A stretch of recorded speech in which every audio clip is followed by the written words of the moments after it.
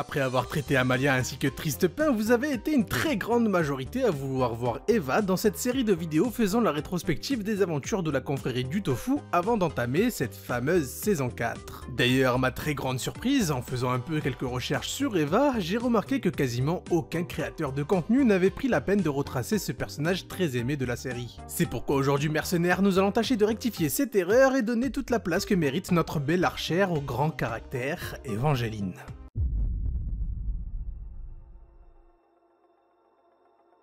Évangeline est une jeune Kra, entendez par là une disciple de la déesse Kra ayant comme particularité le maniement exceptionnel de l'arc, une grande agilité ainsi qu'une vue extrêmement perçante. Des traits qu'Évangeline revêt parfaitement, faisant d'elle une redoutable guerrière Kra, d'autant que nous le verrons très rapidement, mais de la confrérie du tofu c'est certainement celle qui a les facultés de combat les plus prononcées du groupe. Des facultés qui vont rapidement trouver sens lorsque nous saurons qu'Eva s'entraîne depuis son plus jeune âge afin d'assurer la garde personnelle d'Amalia, la princesse du royaume Sajida. Et bien heureusement pour Amalia, car comme nous l'avons vu dans l'épisode qui lui était dédié, Amalia vivra des temps difficiles avec la perte de sa mère, et son statut de princesse n'améliorera en rien sa situation, la condamnant à vivre reclus dans son palais. C'est à ce moment précis qu'Évangéline apparaîtra dans sa vie comme une véritable lumière, et au-delà de cette relation professionnelle qui les unit, c'est une grande amitié qui va grandir entre nos deux héroïnes qui ont à peu de choses près le même âge. Une amitié qui ne fera toutefois pas oublier son rôle à Évangéline, car avant tout, Eva est une femme dotée d'un grand sens des responsabilités.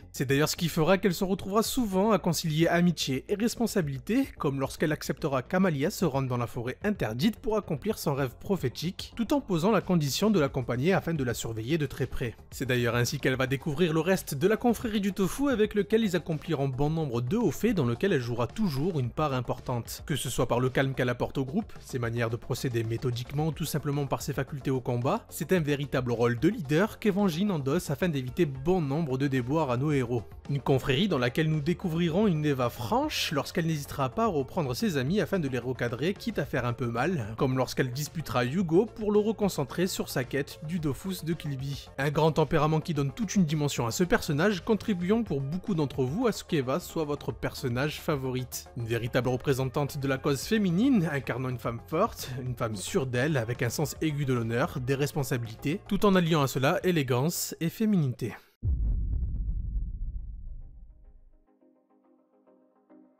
Eva et Tristepin forment sans conteste le plus beau couple que la série a pu mettre en scène, mais pour tout en saisir, il faut revoir quelques détails. C'est très rapidement qu'Eva va découvrir Tristepin, un chevalier de l'ordre de Chouchou qui à première vue semble être tout l'opposé d'Évangéline. Ingénu, avide de combat, pas très habile, enfin bref, on a déjà vu qui était Tristepin et comment il va grandir tout au long de son aventure avec nos comparses. Mais personnellement, je note un point particulier qui pourrait expliquer pourquoi ces deux amoureux vivent un idylle parfait. Tout d'abord, Tristepin est un véritable guerrier. Il a montré plus d'une fois qu'il était une personne de confiance et surtout il démontre une grande pureté de par ses actions. Il ne cache rien de ce qu'il pense, de ce qu'il ressent, tout transparaît de Tristepin. Un trait très important car Evangeline revêt exactement le même caractère de franchise, bien que plus intelligente et subtile sur ce point il faut dire. Qui plus est, la simplicité d'esprit de Tristepin va souvent sortir Evangeline de situations où elle ne voyait aucune issue logique. Une véritable moitié retrouvée pour Eva qui va obtenir un certain réconfort avec sa présence. Bien entendu, certaines querelles vont quand même éclater, mais quel couple peut se vanter de n'avoir jamais eu aucune querelle? Bien au contraire, elle participe au renforcement du couple, et c'est exactement le cas pour nos tourtereaux qui vont apprendre à se connaître et à découvrir le passé de chacun.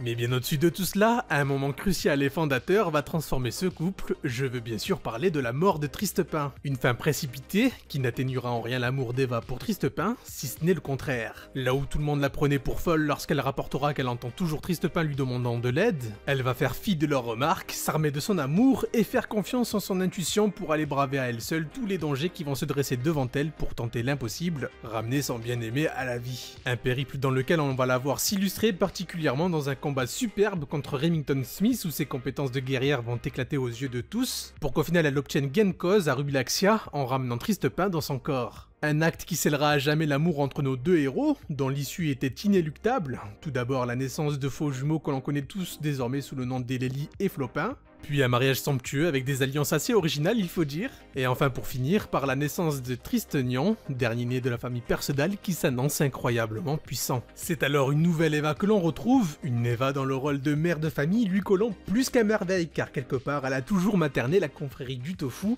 et franchement elle est plus qu'épatante, malgré qu'elle soit enceinte, elle va mettre une déculottée impressionnante à Toxine, et sincèrement entre nous, quel plaisir de voir un personnage aussi simple, pur, incroyable et badass à la fois. Un personnage qui n'a besoin d'aucun background exceptionnel, bien que je dois le dire, j'aimerais en savoir un petit peu plus sur son passé. Un souhait que j'espère voir réalisé dans cette saison 4, car de tous, Eva est certainement le personnage qui a le moins besoin d'étoffer son passé avec une hérédité divine ou autre chose qui pourrait détruire l'essence même du personnage. Mais j'aimerais vraiment la voir s'étoffer davantage afin de comprendre quelle jeunesse elle a vécue pour devenir la femme qu'elle est aujourd'hui.